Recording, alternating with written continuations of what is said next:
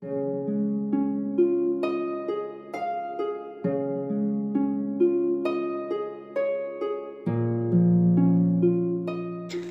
putri Indonesia akhirnya kembali terlihat untuk kembali berlaga pada turnamen BF Tour yang akan dihelat di benua Asia pada bulan November mendatang.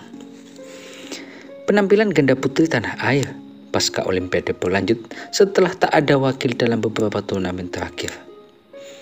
Mulai dari China Open 2024, Arctic Open 2024, serta Denmark Open 2024. Turnamen BF Tour akan kembali digelar di benua Asia setelah sepanjang bulan Oktober ini berlangsung di kawasan Eropa. Kumamoto Master 2024 China Master 2024 menjadi turnamen dengan staf tertinggi terakhir pada tahun ini. Kedua ajang tersebut juga menjadi kesempatan terakhir bagi pebulu tangkis Indonesia untuk mengumpulkan poin demi lolos ke ajang BF Tour Venus 2024. Kumamoto Master merupakan turnamen bertaraf foto Super 500, sementara China Master di level Super 750. Ganda putri Indonesia kembali didaftarkan setelah tercantum beberapa wakil yang akan berlaga pada dua turnamen tersebut. Salah satunya adalah Siti Fadia Silva Ramadanti, yang mana duet Fadia dengan partner barunya yakni Lani Triamayasari berlanjut pada Kumamoto Master dan China Master. Sebelumnya, Fadia dan Lani lebih dulu akan berlaga pada ajang Indonesia Master Super 100 yang digelar di Surabaya, Jawa Timur.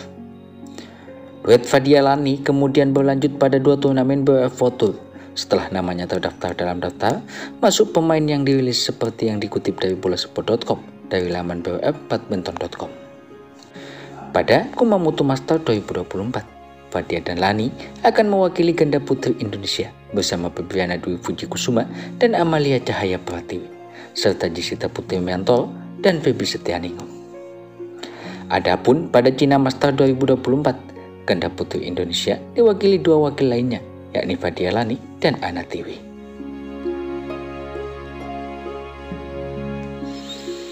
Lani sebelumnya dipasangkan dengan Ripka Sugiarto dan Rasel Alicia Ross. Bersama Ripka, Lani mampu menjadi juara di Swiss Open 2024. Tetapi harus berpisah karena rencana pernikahan Ripka dengan Muhammad Rian Ardianto beberapa bulan lalu. Adapun ganda putri dengan peringkat tertinggi, Bebrana Dwi Puji Kusuma dan Amalia Cahaya Pratiwi akhirnya mendapatkan kesempatan lagi untuk berlaga di level Super 500 lebih. Ana dan Tiwi akan tampil pada turnamen level Super 750, yakni tepatnya pada China Master 2024 kecuali di turnamen kandang yakni Indonesia Open 2024 Super 1000. Ana dan Tiwi memang jarang mendapatkan kesempatan bermain di level Super 500 ke atas. Terakhir kali Ana dan Tiwi bermain di level Super 500 ke atas di luar Indonesia adalah tahun lalu, tepatnya di Denmark Open 2023.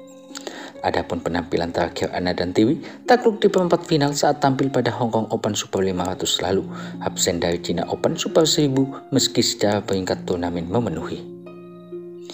Ana dan Tiwi juga tak didaftarkan ke Tour Eropa untuk tampil pada Arctic Open dan Denmark Open bulan ini. Di mana pada Hong Kong Open 2024, Ana dan Tiwi tumbang di tangan ganda putri andalan Malaysia yakni Perlitan dan Tina Amwalitaan dengan dua game langsung.